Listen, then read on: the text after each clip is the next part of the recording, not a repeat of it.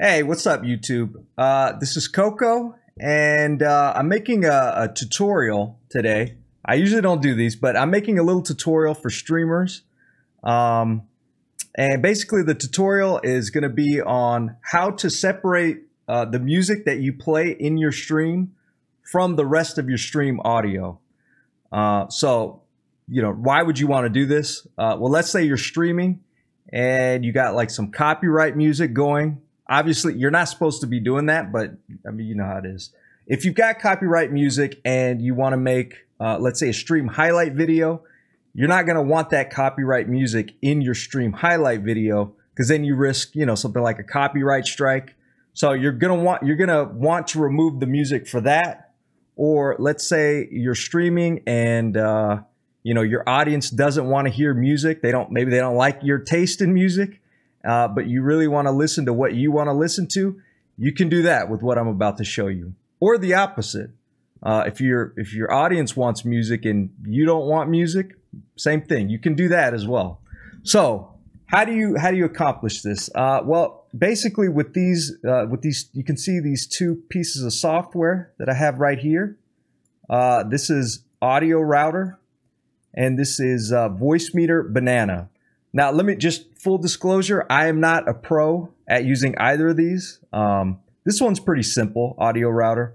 Voicemeeter Banana is you can do quite a bit with this program, and uh, most of the these features, the functionality I'm completely ignorant of. I'll be honest, but I do know enough to uh, to do what I'm about to show you. Okay, so how do you get these programs? Uh, basically, uh, oh here we go. So here's Audio Router. Uh, pretty simple. Just just Google Audio Router. I'll put the links in the description. Uh, there should be a GitHub link. You just go here. There's a 64-bit exe download link and a 32-bit uh, exe download link. Um, yeah, anyway, get the one that you need. It's there. Voicemeeter Banana. Here we go. So yeah, you can see all these pictures. This program does like a million and one things. Okay. Uh, I don't use it for any of that. There's tons of stuff on YouTube if you really want to learn the ins and outs of this thing. Uh, you can figure it out. You know, I, I don't know. It, it, looks a little complicated, but there's info out there if you look. So anyway, just uh, wait. Where was the? Uh, here it is. So yeah, to install it, there's a little, they, they have it, they have a compressed version of it, and then they have just the straight exe. Just download exe, install it. Once you've installed that, it's probably going to tell you you need to restart your computer. So do that. And then when you come back, you know, you'll have both of these things here. And uh, the first thing that you're going to want to do is you're going to want to change your default audio playback device. So how do you do that? Uh, I was showing it to you right here. Just right click this little uh, this little sound icon up here in the corner. Uh, go to playback devices. Obviously, I have my taskbar up at the top. Yours Windows by default has at the bottom, but you know how to find it. Come on. All right. So anyway, you just go there, go to the, your playback devices, and what you're going to see is you're going to see two new devices that Voicemeeter installed. One is called Input, right? Just straight up input, and then one called aux input. So I'll just explain to you right now what, what we're trying to set up. So what you're trying to do is you're trying to have all of your stream audio minus the music be directed to this Voicemeeter input device. And then what you want to do is you want to have your music going to this aux input. That's basically what we're going to be setting up. Okay, so first thing you need to do is you need to set this as your default playback device. Just click on it uh, again, input, not the aux input. Click on it, hit set default, hit apply, then hit OK. Obviously, I've already done that, so I don't need to do that. Now, uh, now just be forewarned. Once you do this, you will not be able to hear any audio on your computer, right? Because you've changed the playback device. So you, to, in order to hear this uh, Voicemeeter input, in whatever you're using to listen to your computer's audio, right? I'm using earbuds right now that are plugged into my uh, audio interface here on the desk. Uh, in order to listen to it on that or in speakers or whatever you got, you have to route that to, or you have to send that to your, your listening device in Voicemeeter Banana. So, uh, as you can see in this, in the program here, when you open up Voicemeeter Banana, you're going to see here two virtual inputs, right? There's virtual inputs right here. There's one right here. It's this whole thing. And then there's another one right here, right next to it. So as you can probably tell, this one that says Voicemeeter VAIO corresponds to this device here, the one that you made the default playback device.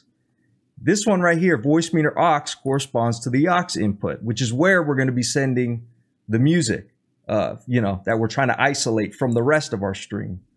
So, uh, in order to, uh, you know, hear both of these things, right, your desktop audio and your music, you're going to need to route both of these to your headphones, your speakers, whatever.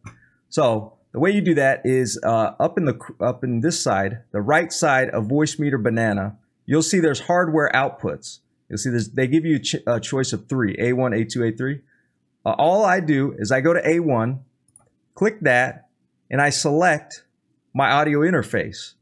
Now you'll see there's there's multiple selections for your for your there probably will be multiple selections for your device. So I have one here, right? It says WDM. There's another one here, KS.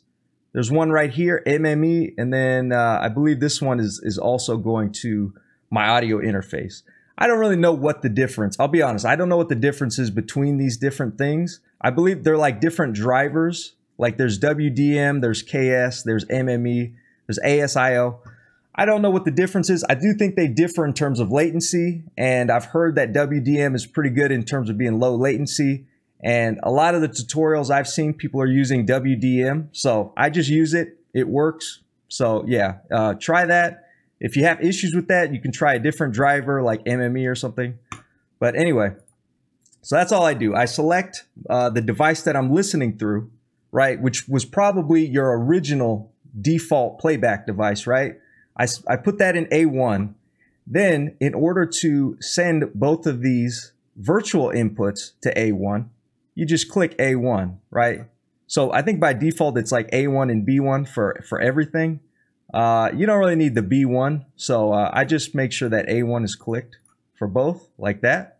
So both of these virtual inputs will now be sent to whatever device you're listening to. So now you'll be able to hear uh, you know, whatever audio is playing on your computer. Okay. So we've got now at this point, you've got most of this, uh, you know, you've got most of it working the way it should, except for you still have not sent your music to the aux input. So how do you do that? use audio router, right? This is the, the final key, the final piece to the puzzle rather. Um, so when you open it, you'll see this.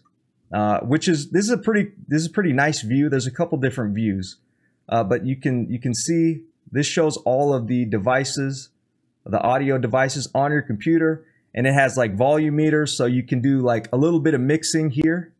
Uh, but I prefer this view. If you go to File, Switch View, you can go back and forth. If you switch view, um, you can see a list of applications um, that are playing audio, right? So uh, as you can see on the on the right in this window, it says routed to. So it shows you where each of these programs is directing its audio to. So right now they're all blank, right? As you can see, there's nothing here. That just means that all these programs are sending to the default playback device. So if you want to change one of them, right? For me, when I play music, I'm usually playing it uh, in a, like a YouTube playlist on Chrome. So for this tutorial, I'm going to be directing the audio from Chrome to the, the Voicemeeter aux input.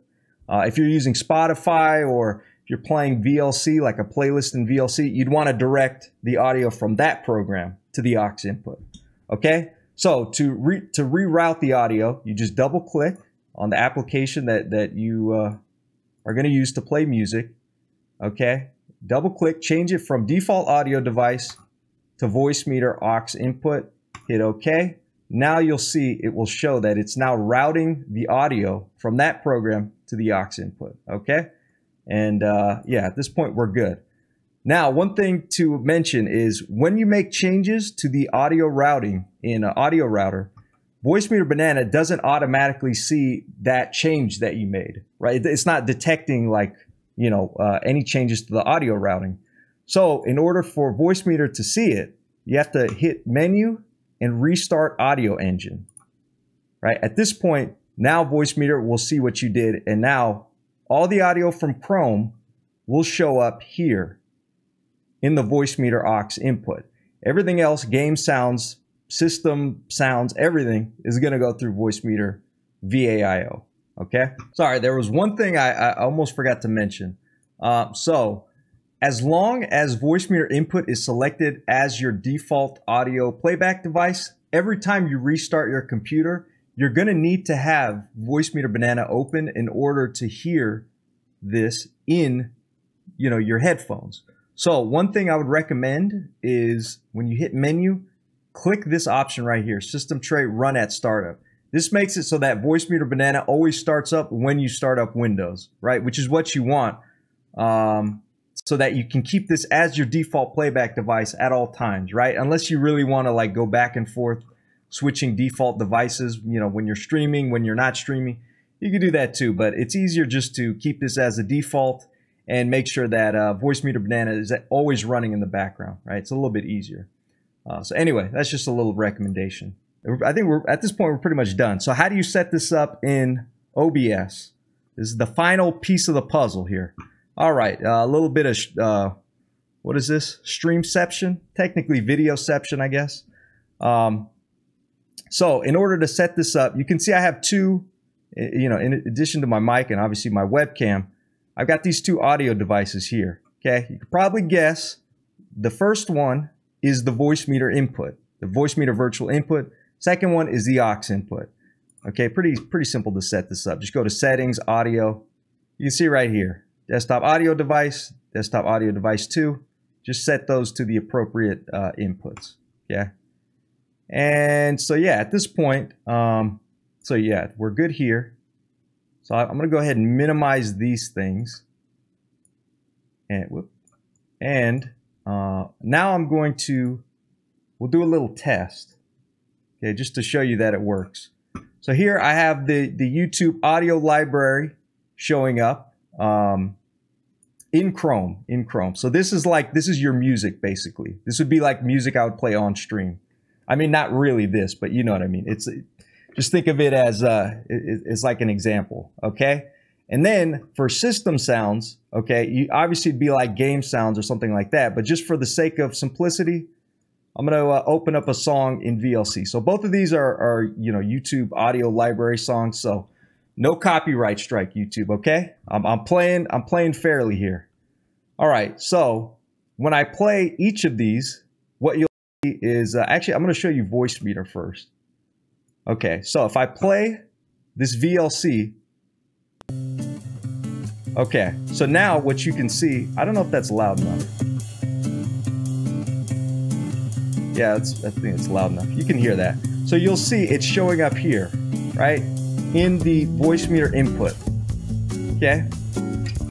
Now I'm going to pause that and I'm going to go here in Chrome right? The, the application that whose audio is rerouted to the aux input. If I start playing something in here, okay, that's a little bit, hopefully that's not too loud. Anyway, you get the point. It's showing up here in the aux input, okay? So they're, they're routing correctly, as you can see. And if you, if you look in OBS, right, a little bit more videoception. If I start playing in VLC, yeah, you can see it's showing up here in the desktop audio right? And then you can probably guess if I play in Chrome, it's going to show up in here, right? Desktop audio 2. Exactly. See? So everything is being routed properly. Okay, calm down. All right, all right.